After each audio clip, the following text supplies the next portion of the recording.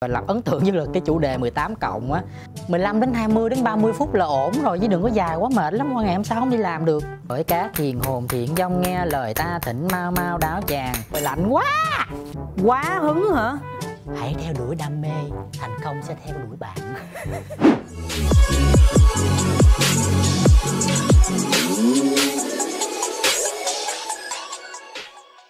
Quỳnh Lập xin gửi lời chào đến tất cả quý vị khán giả đang xem chương trình một phút kể hết trên King Live và chúc cho tất cả mọi người vui vẻ khi xem chương trình ngày hôm nay. Trời, sao nói chủ đề mà sao trời ơi đó là những cục nước đá các bạn ơi. Rồi bây giờ làm sao đây? Câu hỏi nó nằm ở trong đây nè. Bây giờ là phải đập nó ra. Hỡi cá thiền hồn thiện dông nghe lời ta thỉnh mau mau đáo chàng Xin hồn mở lối dẫn đường cho ta tìm thấy câu hỏi trong đây không bể luôn á trời ơi gõ mà mà méo cái này luôn á méo cái cây ống hút luôn á. Hồn hỡi hồn ơi nghe lời ta tỉnh mau mau đáo chàng. Trời ơi đáo chàng rồi nè. Chủ đề của ta đã đáo chàng rồi lạnh quá. Thấy được một cái chữ là chữ cu. Ờ nó bằng giấy đó cho nên là nó ướt hết rồi.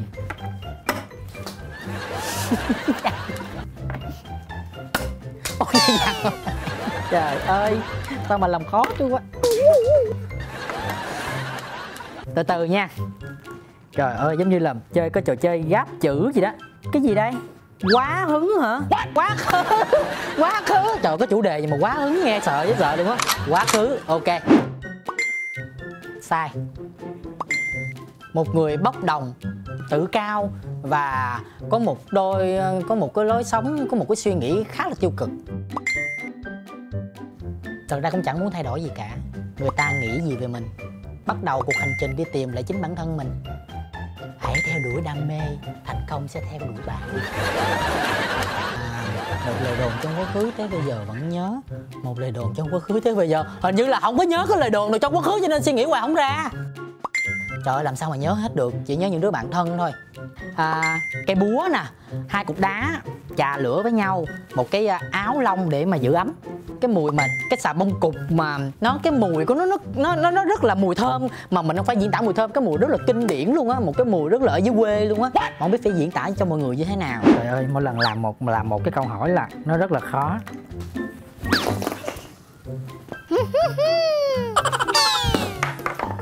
không bể gì ta. Chắc sợ bể cái sàn này quá. Lại rách. Thôi mệt quá. Trời ơi là trời. À, 18 cộng. Tôi đề nhạy cảm nha. Style mờ mờ ảo ảo. Chính xác. Đã vô thì bỏ. Cái vụ xem phim đi. À đó mà cô xem phim cái gì tắm trước chứ.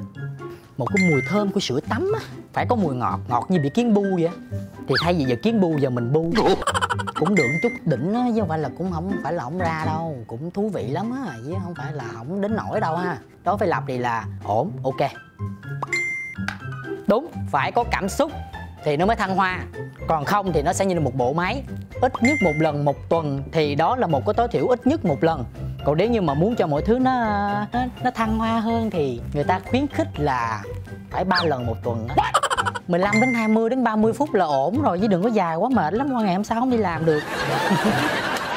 Chủ đề cuối cùng để coi trong đây nó có hình cái con này nè. À con khỉ đi.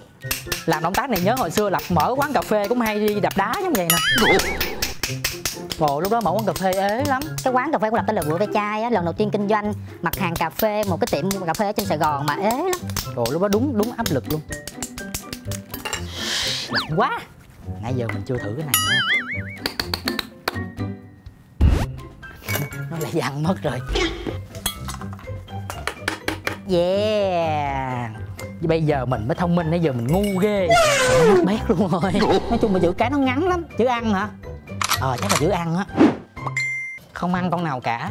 Không không không có làm những cái chuyện mà nó nó không có được tế nhị như vậy. Không mình ăn phần của mình trước đi. Có thực mới giật được đạo. Không dành được với họ bạn này đâu họ bạn nó ăn như heo vậy. Cắn khoảng 2 kg càng cua. Chính xác. Không quan tâm thị phi. Làm nghĩ là lá dừa ăn được không ta? Không lá dừa nó chỉ gói thôi. Nó có thể công dụng là gói thôi. Còn ăn ở trên cây dừa cái gì cũng ăn được. Là càng cua đồng nè hột vịt lộn nè à, ốc nè một lần chỉ ăn được hai trứng thôi. Ừ, thật ra thì lập rất là dở khi mà trả lời những câu hỏi nhanh này. Đối với những gì mình lập có bất giác trả lời nó có thể đúng hoặc nó có thể chưa đúng thôi chứ không phải là nó là sai.